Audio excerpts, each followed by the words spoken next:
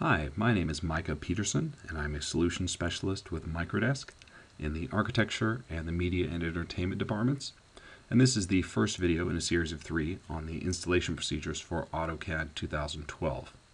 I started out this video by uh, unzipping the file that you download from either the Subscription Center, uh, One Team, or from various other download uh, locations, and or you can run it from your DVD or your USB drive, depending on how it was delivered to you. Uh, you'll get these extracted files and then I'll run the setup.exe file. And then we have our install uh, main page here.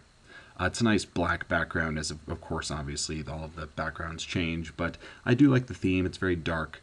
Uh, I like it. It's a nice kind of uh, transparent glass theme for most of the buttons. We have our English option here because it's an English installation. And for this video we'll only be going over these links down below as well as the install tools and utilities link so for any of these three, the installation help, system requirements, or the README link, it opens up to the local file here, and each of these links then will go to the Autodesk Exchange location.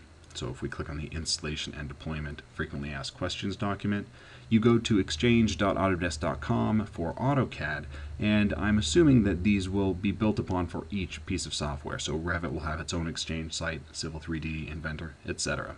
So this is a very nice system. I'm, I'm impressed by the degree that which, of which help has increased over recent years, and 2012 is no exception. Uh, if you go to search, uh, it does do a nice job of searching everywhere. However, if you search for something like inventor with a misspelled E at the end, it doesn't give you any kind of help here. So make sure that when you're searching through this in the help document, there is a lot of information there. Just make sure you spell it correctly.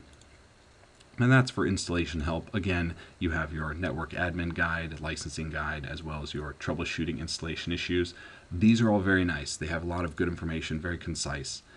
Then you have your system requirements, which gives you the system requirements for the 32-bit and the 64-bit versions of AutoCAD. And then we have our README, which gives us just some additional instructions uh, regarding the installation. Now the install tools and utilities link here click on this, you'll get a few options, and it does kind of take a second to load up. And these are more that uh, your CAD manager or your BIM manager will be installing for you. Uh, most users more than likely will not be using the install tools and utilities link. Now this first one here is a network license manager that's already installed uh, because I do have another version of 2012 installed on my machine. Uh, this is just for licensing. The CAD manager tools is the same tools that has been available all along uh, for most uh, pieces of software in, in uh, AutoCAD.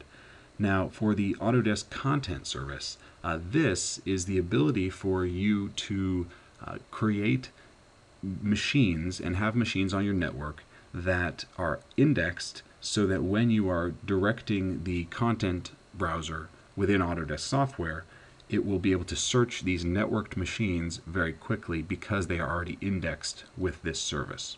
So by default, if you install AutoCAD 2012 on your machine, it automatically installs Autodesk Content Service, which index, indexes all of the content you have, your drawing files, your uh, fonts, your uh, blocks, various design files that you have.